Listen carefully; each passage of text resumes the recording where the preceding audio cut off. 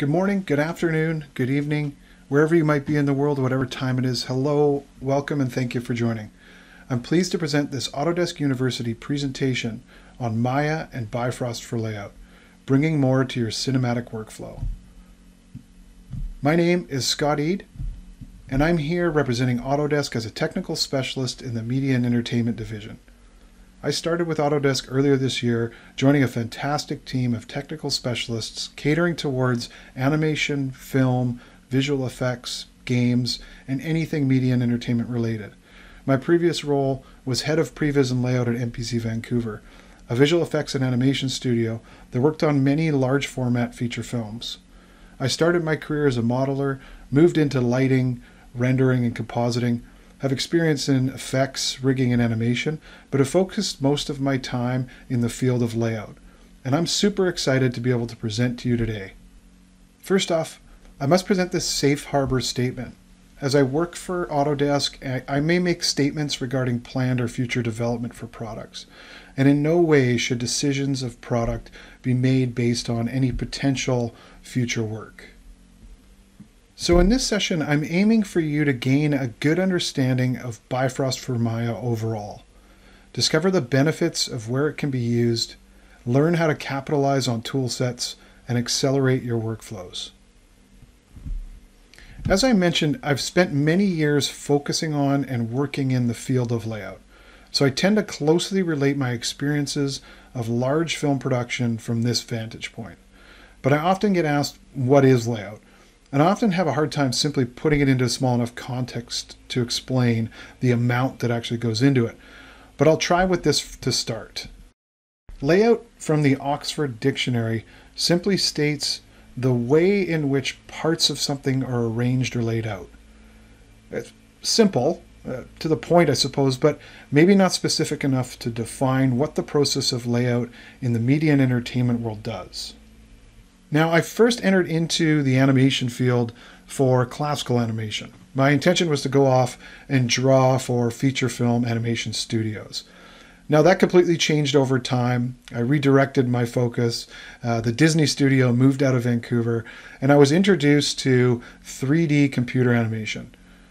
And, but back in the 2D classical animation process, there is a layout process a stage in which the assets and design and story come together to produce an environment or stage in which our characters live, for example.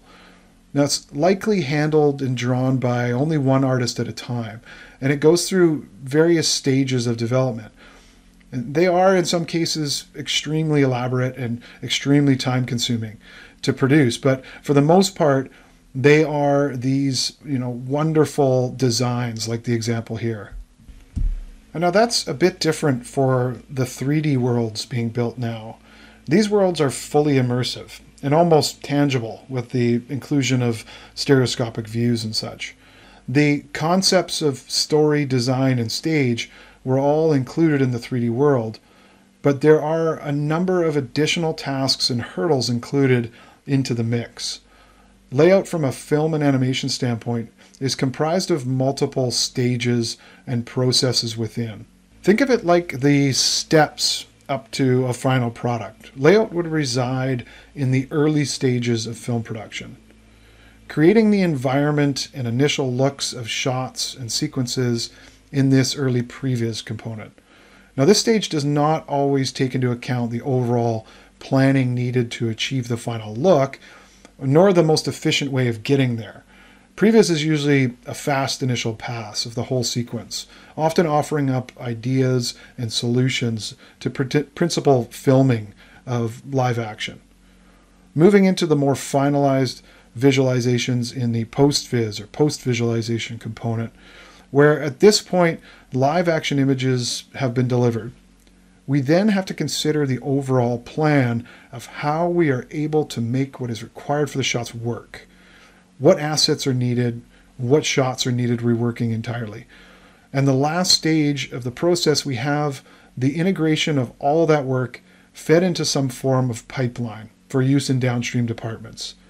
This process needs to be flexible. It's crucial that it's fast and it needs to happen nonetheless, so that the foundation or building blocks of the production don't get missed out. Now, take the layout components out of the equation, and it becomes quite difficult to really say what would happen. Either downstream departments and disciplines take on this work, or you have a scenario that I tend to explain with reference to building a house or any structure for that matter. Without the way in which parts of something are arranged or laid out, is kind of like moving forward on a house in absence of a blueprint. It's the absence of a plan and the foundation to actually build upon. It's hard to really define exactly what would happen, but I'd imagine some chaos, maybe back and forth between trades to figure out how things will work. Potential delays in build. Now you're faced with the potential of having to rebuild or change the design for the owner's vision after the final work has already been completed. And now you're spending way more than any budget was accounting for. And I suppose in all this, you could lose any interest in someone working on this project. You could lose your talent or maybe you lose the opportunity to build future houses. Now, this is closely relating to what happens in animation and filmmaking. And the added hurdle and most prevalent difference above all of this is the world being built is primarily digitized. Theoretically, you can build the roof before the walls. And this evolution of story and the input into that project needs to be completely flexible and allow for changes throughout the production. Large teams are all inputting into this final product, and these workflows uh, are completely overlapping. Throughout my time in the industry, I came across multiple hurdles in what we were able to achieve in the final products that we were attempting to create. Hurdles like workflows, limitations in the tools, and without a means to be able to work faster for larger, more amazing projects, artists were left with this struggle in their in their output. On one hand, I can deliver a high quality product, but it takes me way more time, and the speed at which I'm able to work does not align with the budget that we have to complete this. And on the other hand, I can do the work really fast, but the quality suffers tremendously and we get something that simply won't work, something that audiences just won't watch, and something that I'm not really interested in as an artist looking to broaden my ability and creativity. And that all compounds into a common theme for artists, disciplines working on productions, and entire studios for that matter. We have to move from project to project, trying to repeat what we've done before with added complexity and in an even shorter timeline. We need to do it as fast as we possibly can, and even faster.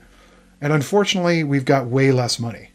So we're continually trying to figure out how we do that. We also have to figure out how we do it with the cost of creativity on the line, the cost of keeping talent or being able to have that input of ideas to the full potential. How can we help make the productions we work on highly creative, a highly creative environment, highly productive, an efficient environment without letting the creative input fade.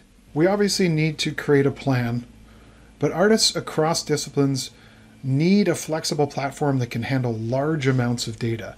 And we need to be able to work fast and coordinated and have a means to offer up bigger, better, more creative content.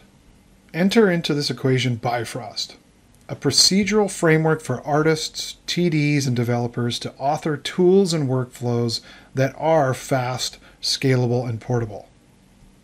So tell me, what is Bifrost, and why would we really even care? Well, using the Bifrost visual programming environment in Maya, we can automate complex processes and generate assets without writing a single line of code. Essentially, it's a data flow graph, with the data flowing left to right along connections between ports and nodes. Now, Bifrost is a tool to accelerate almost every aspect of 3D production with added ready to use effects right out of the box. Bifrost is not just another tool. This is the tool that can actually make tools. And to be honest, it does so much more. So we start by working in a single shareable visual programming graph with nodes that range from simple to very complex operations. And these operations are being reduced down to portable, reusable compounds to really achieve big results. A powerful component of Bifrost is its use of compounds, which refer to nodes that contain subgraphs of other nodes or even other compounds. And the code for these operations can also be exposed and viewed. These can then be published and shared with others, altered, republished, or even stay referenced in scene. And so we can then rapidly prototype and create production ready, reusable libraries of features, setups, tools, effects, and more. And Bifrost comes packaged with a large number of ready to use effects in the Bifrost browser. One can simply import the example graphs and play back immediately through the Maya viewport. An artist or TD can then use these compounds and make small alterations, as in the example of this torch. And then those alterations can then be, again, published or reused or implemented in the scene quite easily. So we can look at the Bifrost compounds and usable content as a collection of packs. Each pack is by no means completely isolated, as there is overlap in all the functioning compounds here. So we started with the core pack, which is complete in the code and the UI and core functions, including file I/O, diagnostic tools, and more. We then have the effects pack, uh, implemented and ready to use now in Bifrost. And then the world pack and scattering tools, which would cater to simpler workflows of large asset distribution through user-friendly compounds. And this is still a growing area of development, but a good amount of functionality is already there and available to create bigger, better environments faster than we have done before. And I'll show you some of that shortly. All of this caters towards the function of building bigger worlds with definitive simulations for cinematic presentations. And the quality of the output is something that we can be using through to the final product rather than approximations or mock ups of, of what's required. So we start with the effects pack. Here, Maya artists and generalists can work with effects, elements, and make live, simple changes without involving effects TDs. This example is showing the use of particles through Bifrost. You have the Bifrost Aerosolver, which allows you to create natural looking smoke, mist, and other gases. Bifrost Combustion Solvers solves both physics and chemistry by using real world fuels and their physical properties. And that includes things like soot formation and oxidization, radiative heating, and a condensation model.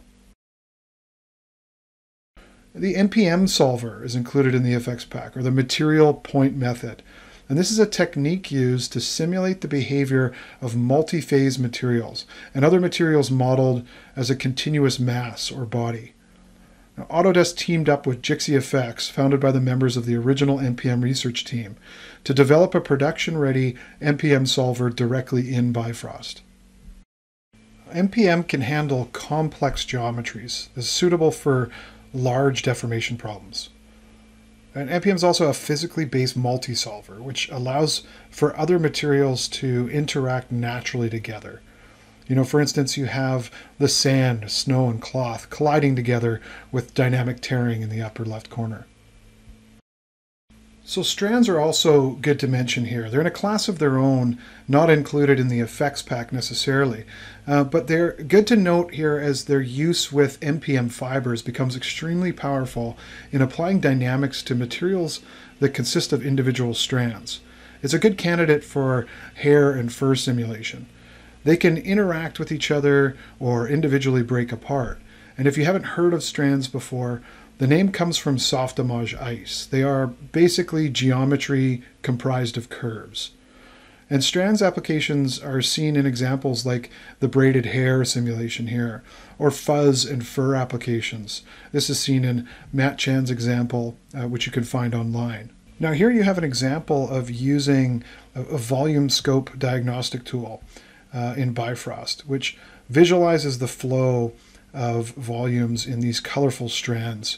And that strand output can then be used in something like this presentation of, of chains, uh, instances of chains done by Jonah Friedman um, that are effectively you know, populated along these strands. And so we move into the world building and scattering pack.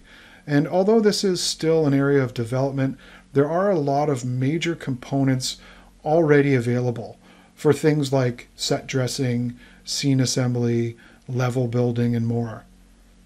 Layout, animation, and environment artists will be able to work procedurally with much larger numbers of instances. Additionally, if you haven't yet seen the Vision Series presentation, Lights, Cameras, Effects, Exploring What's Possible with Bifrost, it's available to watch online. And this is a, a really cool uh, video on building up a scene with trees and snow and applying that to a scenic uh, mountaintop. We can additionally leverage tools that will allow us to better create complex assets that would otherwise take a lot of time and or money to create. People have already started implementing basic L systems in Bifrost to create something like this simple vegetation. Now, an L system is something that models growth processes of, of plant development. And L systems have also been used to model things like the morphology of organisms. Now we can leverage what is available in Bifrost to assist in not only creation, but also fixing geometry or creating simpler, lighter models. Bifrost can treat scan data or existing models that have multiple pieces needing merging together. And additionally, clean up that geo for issues that arise. Things like uh, non manifold geometry or faces with holes or non planar faces, uh, faces with zero area or edges with zero length. And then we go into the scattering and the ability to scatter and constrain assets to geo that may be deforming. Um, this example uses uh, an ocean simulation with ocean debris constrained to the surface. And we're leveraging Maya's rivet options, um, which is based on a UV pin, but also using Bifrost to kind of instance geometry in there. And this doesn't have to be an ocean. This could be a character uh, or anything really that you can, uh, can think of uh, you want to populate assets onto. There are so many scenarios that you might need to build up your project, your scene, your shot. And Bifrost has so many features that complement that ability to produce content for your cinematic workflows. Tools, effects, world building. So let's take a look at some examples where I'm going to show you how you can implement Bifrost into your workflow. Now, we won't be looking at effects simulations from Bifrost. Instead, we'll focus on world building and scattering functionalities. Let's take a look. In this first example, we'll start from the basics. I'm going to start by accessing the Bifrost graph editor. And if you haven't already downloaded Bifrost for Maya 2018, 2019, or 2020, you'll need to go ahead and do that. And once that is downloaded, I'll need to ensure the plugin is loaded in the plugin manager. And you'll see all the Bifrost plugin options, including Bifrost Ocean Simulator and some others. Now once loaded, I'll have access to the Bifrost shelf. I'll open that and select the Bifrost graph editor icon. The second icon is the Bifrost browser. I can also access that in the graph editor prior to creating a graph. And this gives me access to all the available graphs that have been included with the Bifrost download. That I can import, change to my own design, and save back out for others to use. So first off, let's create a graph. Immediately I see in the that the Bifrost graph has been created in my outliner. And I can create as many graphs as I like. And each time you'll see those graphs populate the outliner. Rename them as you see fit to organize your graphs. But I'd like to start out by simply bringing in an asset into my Bifrost graph and into Maya to view. I have an Alembic file on hand that's fairly heavy in scene and is quite slow to load. This Alembic file is approximately 8.5 gigs, and load times average around 40 seconds to a minute. So when using the default cache import, which is just taking too long, or trying it through the edit import, um, I seem to get the same results. It's just too time consuming for me to repeatedly do this in that way. So I'm going to do this through the to, through Bifrost to leverage the speed and continue to make some additional changes. Clicking Tab, I gain access to the Bifrost graphs, compounds, and nodes under the folders. You can see here core tools, diagnostic tools, simulation tools.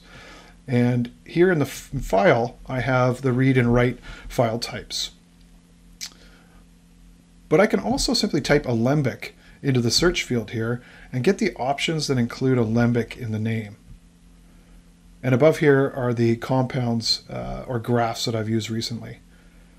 So I want to select a read alembic compound. This will allow me to select a mesh to bring in. And I need to access the parameter editor.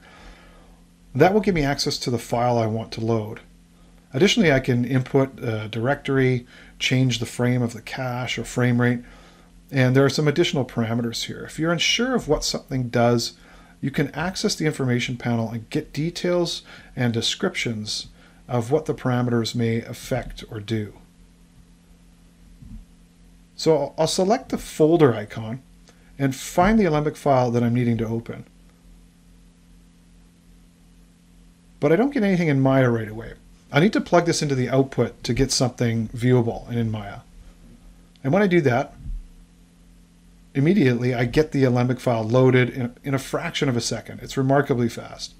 You also see when I plugged into uh, plugged it in that the Bifrost node was created in the outliner. This is directly related to this output, and I can select my object this way.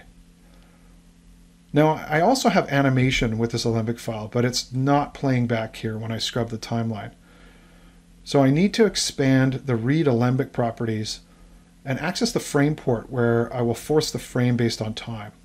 Now I could search for that with the tab function or simply right click and go down to the create node and I'll be offered up some possible input options for that port. I select that and I get the time plugged into the frame port automatically. And now when I scrub through the time, I can see the building destruction throughout the timeline. And the speed of that playback is fast. It's much faster than the playback I was getting through my DG directly. So now I'd like to duplicate this asset many times over in my scene. And I'll need a platform to distribute on. Uh, let's use a ground plane. So I'll create a simple polygon mesh, scale that up to a scale where the building can be distributed on. And then I'll have to bring that plane into my Bifrost graph by selecting it in the outliner, middle click, and drag it directly in. And I want to instance this building many times over. So let's tab into the search field again and type instance. And I want to set instance geometry compound. And I'll take that Alembic mesh output and plug it into the instance geometry port. And the ground plane that I want to distribute, I'll plug that into the points port, which will place the building at each point the plane has with, which is each vertex. Oh, I need to plug that into a different port of the output. And here you see very quickly the distribution of this Alembic file. Distributed on each vertex, and still I'm able to go down into the, the timeline and scrub, and I'm able to actually kind of move around quite fast. There's no noticeable lag that I can tell from before, with only you know the one Alembic file previous. So now I have a 10 by 10 grid, so that's 11 by 11 vertices uh, that's 121 points of distribution. And this building is made up of about 800,000 polys. It's 20,000 objects. So my results here uh, pretty much displaying approximately 2.4 million objects. And I'm able to scrub through the timeline and navigate in the scene quite effortlessly. This is really cool. So now moving on, I can mix up the sizes of each of these caches quite easily. I'll tab in again and type scale into the search field and I'm looking for this set random point scale compound. And I'll input my instances and re-output this. And here you'll see I get some randomized scales across the plane. Now when I look at the parameters, I can input and change uh, the min and max scales of these buildings. And I can also go up and access the curve editor at the top and affect the distribution of scale across my instances from minimum to maximum. And the curve right now displays a finite amount of large buildings being distributed, and I can increase that amount by simply ramping up the curve uh, in the top range of my graph. So we'll just leave that down at the bottom for now to get a happy mix. Now each building is still looking a little similar in rotations. Uh, you may want something like this for a city scene, but for me I want to randomize the rotation. So let's tab in and search for randomized, aiming up. And I'll plug that in the same way. So I'm randomizing the rotation values in Y here. And I can affect that even more by changing those values in all three axes. And you can see here, this may not look too good for this application, but it's good to know there that uh, that's available to, to do if you're dispersing some other type of asset. And I can change the seed for uh, the distribution, get a different randomized population. So another problem noted here is that we might not want the buildings to simply be distributed based on the very grid-like formation of this polygon plane. We could uh, very well move and manipulate the points one by one, or we could we can look for a scatter points compound. Plug my plane into that, and then into the points port of the set instance geometry, and this will allow for random scattering of points on the surface. And I can go ahead and change the amount even still in the scatter points parameters, reduce down the number, or I can really bump that number up and get a huge number of them. Now this doesn't look as good because now my buildings are colliding quite badly, but I still have the ability to scrub through the timeline and navigate the scene quite easily. Now we can start scouting large scenes like this, or I'd assume li likely much larger than what we see here. And, you know, I'd like to just also have just a quick look through all of this through my Arnold render. I want something looking a little bit prettier, let's say. I want some lights and shadows. Let's see what the scene looks like with all of that turned on. So I can go into Arnold and simply turn on the Arnold render view. And wait for that to turn on.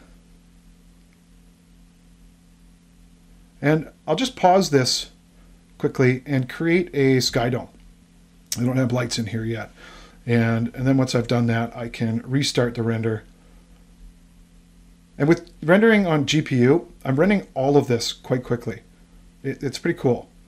And this is all very beneficial for setting up scenes quickly, moving around in large environments, and even showing what would be needed for visual presentation without a large cost in time, play blasting or rendering. So let's move on and take a look at our next example.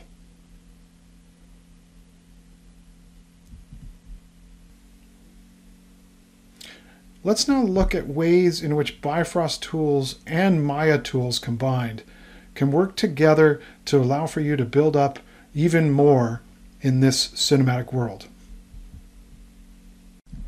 So in that previous example, we simply scattered across the surface and allowed for my asset to be placed by either random scatter or by the object's points. And in this example, I want to get a little bit more artistic with my approach. I want to leverage Bifrost tools and combine them with what's available in the Maya tools. And what I'm starting out here uh, with here is a, a piece of geometry, let's say a mountain range or smaller foothills. And I've added a simple Arnold sky dome with a sky map to get a look of kind of outdoors. I've got my sky and my ground. And I want to populate this landscape with some trees. And I want to be able to, let's say, paint these on. Rather than a scattered approach and hope that the placement works, I want to be a little bit more specific with where I'm placing things. Now, going in and placing things one by one would just not work for me. You know, and how many trees I want, it would just take too much time. So what I'll do is I'll use Bifrost to house the instances that I'm going to distribute. Now, the assets that I'm going to use here can be seen in this other scene that I have open. Now, I have these three trees to use, each one different, but each one a little heavy to use in extremely large numbers. Uh, and that might slow me down. So instead, I'm going to use these low poly representations of the trees instead, something that captures the basic shape of those trees. I'm going to use this prism, this cube, and this pyramid to replace and resemble what would be the final look in my scene. And I can show you how we can do that. So back within Maya, and we open up the Bifrost graph editor, I already have my graph built up for what I'm needing here. And it may look a, a bit more complex than the previous graph we created, but it's actually quite simple. It's, it's very similar to what we had built before with the building.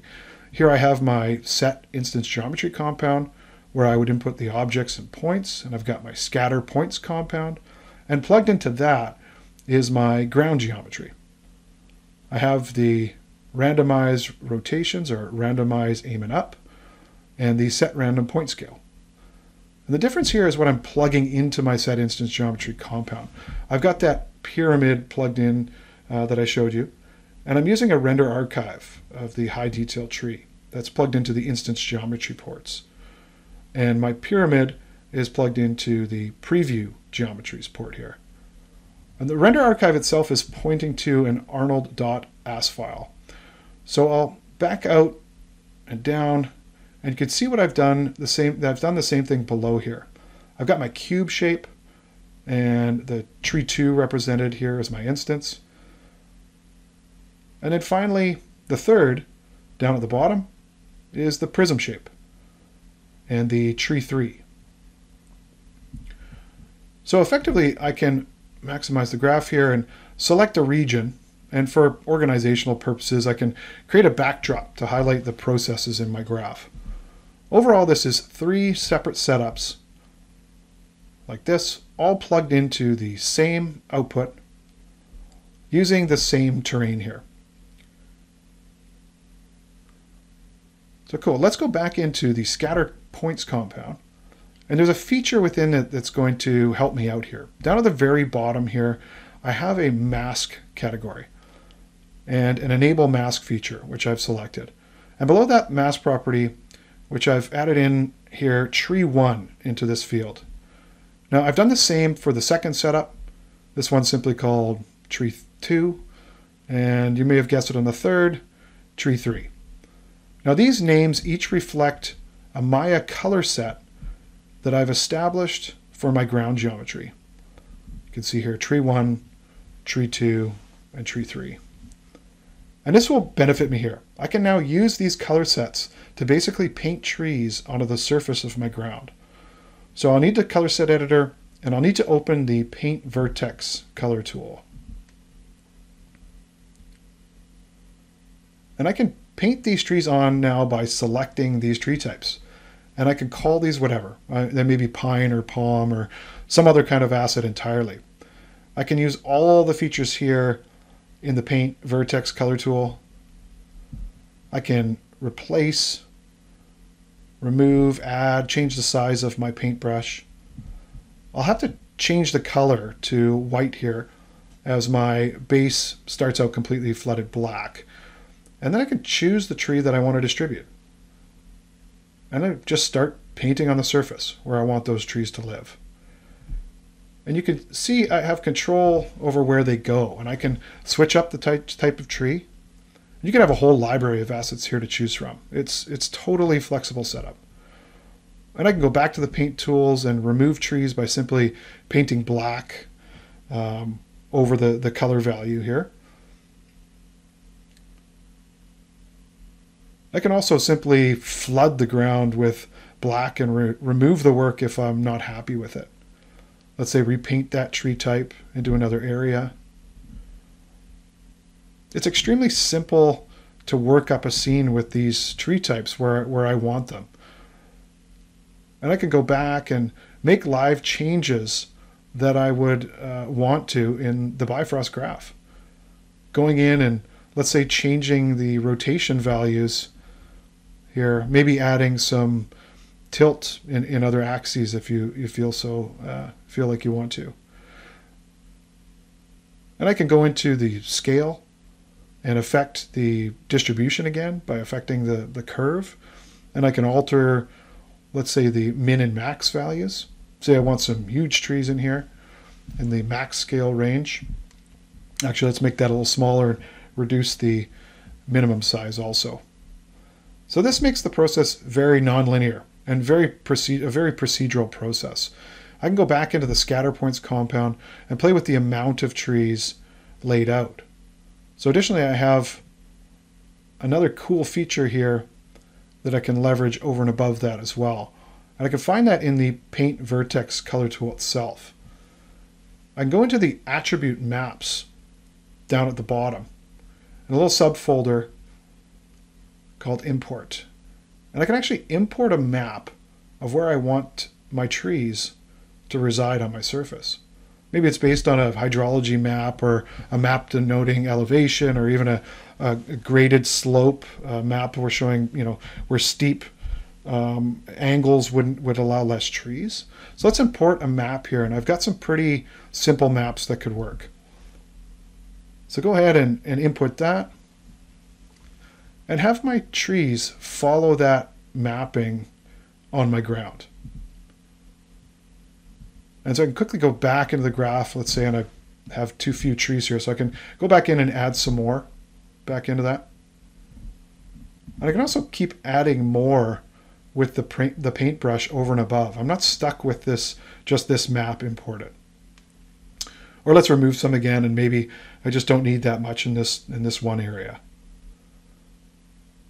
So I can continue to simply import these maps into the different color sets or those different trees that I that I want. And the last one here. And there you go.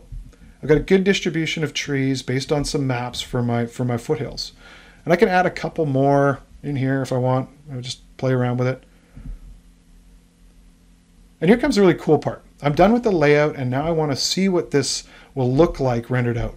So let's open up Arnold and see those render archive instances that are going to be placed where our prism, cube, and pyramid are. Let's, let's check out the detail. So again, opening up Arnold. And there. And refresh this. Oop, press play. Cool. So you can see here the render archives or the .as files of each tree in my scene and, and you can see it, it's giving me the detail with, with all the light, shadows, textures. And what's actually really cool is it's quite fast. Again, I'm leveraging the, the GPU for this render, and I can move around in my scene and look for interesting spots to kind of start my shot out. The render output is fast here. And it's giving me like this, this quality that I'd be able to go through and, and potentially check for you know, maybe issues or errors with uh, finite details in, in the tree and quickly see areas that I might be interested in. And honestly, I could play with this all day, but we do have to move on. And I, and I want to show you one last thing with the graph. And in this case, I want to change what might be distributed out on that ground. So I want to swap what I have uh, currently in the, the cube, the prism, and the pyramid out for something else. And I don't have to keep this preview geometry at all um, that I've distributed. Let's say that they're just not working for me. I've been given some other trees uh, and I have them in my scene here with a little bit more detail. And so I want to use some of those to put into my scene rather than this simple geometry. As I said, I'm not stuck with this. So I'll bring the tree into the graph and replace the pyramid for this distribution of trees. And immediately you can see these trees don't really match actually the, the render archive trees is close, but the concept is that you can swap these out at any time. You can see it's amazingly fast. It's going to reuse what I just painted down. I don't have to go and start from scratch. And I can go through and do this with each. None of this is throwaway work. I don't have to completely um, redo this stuff at all.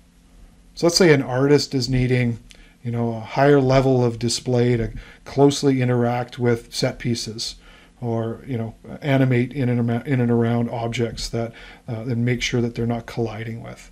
It's super quick. And one can do this in scene by simply just replacing these things.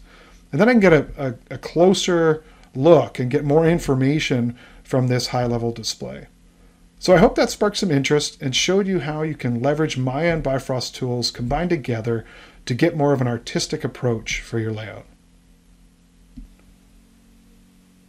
So let's take a look at one last set of examples of how Bifrost can, can be used as a tool that is readily available within its current functionality to surely accelerate building bigger, better scenes.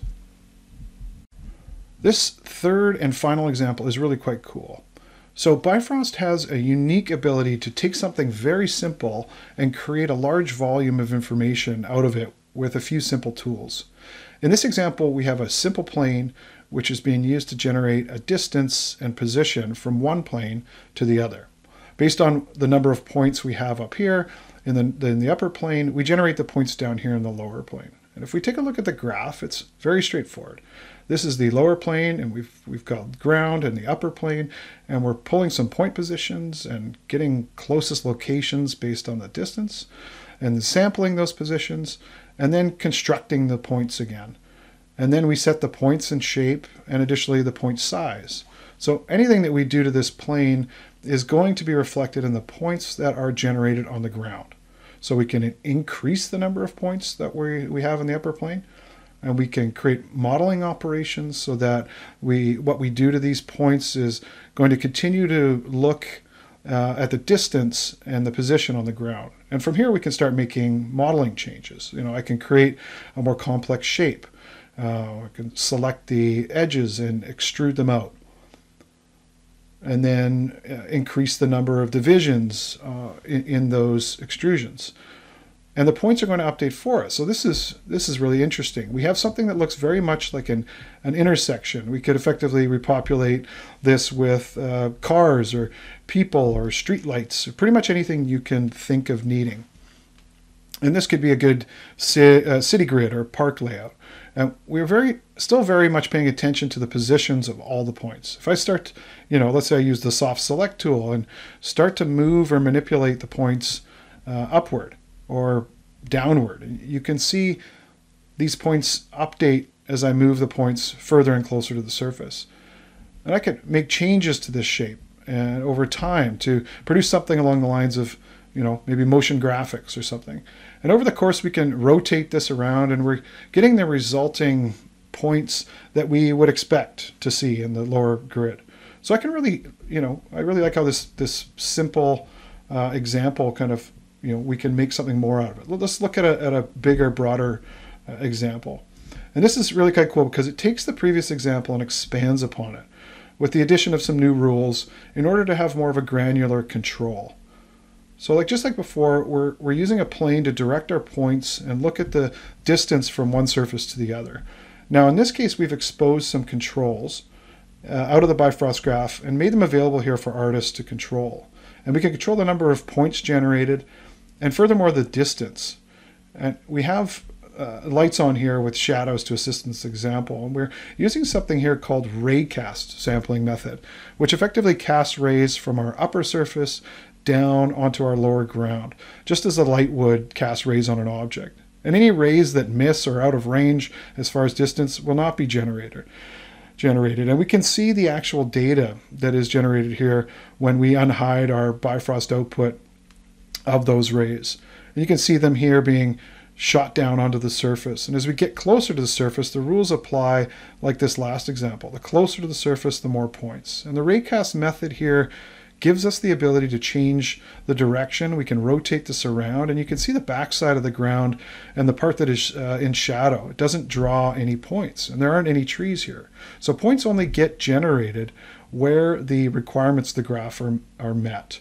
So we can hide the rays here and once we get a location, uh, the, the trees we want, we can change those values here in our channel box that directly affect our graph. So we can increase the distance. So now the trees populate further onto the ground. And if we want to increase the amount of trees here, we can increase the value. Uh, as mentioned before, Bifrost is very robust in its capability for generating large volumes of information. So it's pretty easy to simply apply a large amount of trees onto this surface.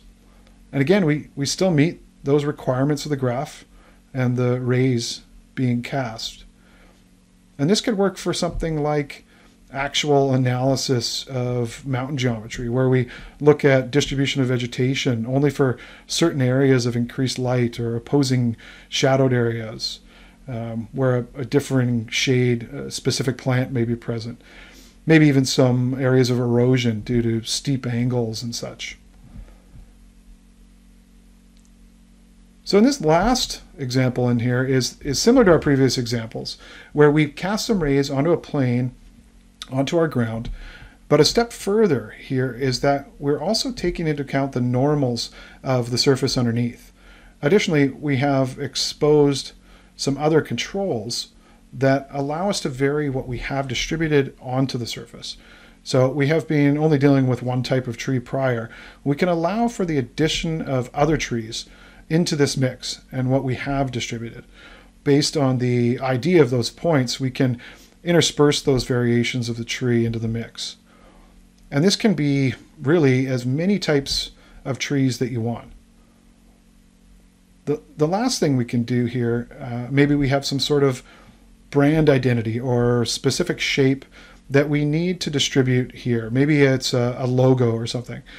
And we can use something like this uh, fabulous AU logo to cast the positions of distribution. And this is just another really cool way of adding flexibility into your workflow. Of course, we're, we're, we're not tied to our, our type node here. So we can change the text and uh, we'll see the update on the, on the surface. We can change the, the font and whatever you see fit to do here, you can, you can kind of alter. So those are some of the ways we can scatter using rays to achieve a look based on our layout rules and tools that we've created in Bifrost and leverage in Maya.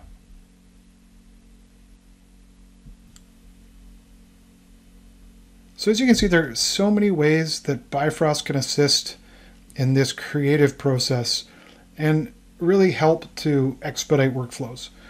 Bifrost and the procedural nature of the visual programming graph open up opportunities of collaboration between artists, TDs, and programmers alike. And the community and the resource is growing. The tutorials and work being created by individual users is building. You can upload and download your own compounds that you want to share or others can share with you. The online forum for Bifrost is specific to Bifrost and Bifrost issues. You can download the Rebel Pack uh, in addition to what comes with Bifrost. And the Rebel Pack includes added helpful compounds and tools that are released from the Bifrost developers. There are specific Bifrost introduction pages and detailed information if needing help getting started if I were to recommend an article to take away that sheds some light on the beginnings and progression into what Bifrost is today, I would check out A Bifrost Journey. It was released in November of last year, but it's a very interesting read if you haven't read it. It includes some insightful info on Bifrost's intended design of being a tool to make artists even more capable and amazing. And lastly, you got to know that Bifrost is completely free. With Maya, you can run Bifrost on up to four computers uh, at the same time, one on the DCC and three running a Bifrost command if you want. And if you have a collection subscription, you're entitled to run Bifrost command on up to 15 computers at the same time. So this is all just adding to that value of why we would use Bifrost. So I'd like to thank you for your time today. I had fun putting this all together for you, and I'm excited for you to be able to take away some of this knowledge and put it to use uh, in your own workflows. Start playing with Bifrost, and you'll you'll be pleasantly surprised, I think, and and and, and just to know how awesome a tool this can be. Thank you very much.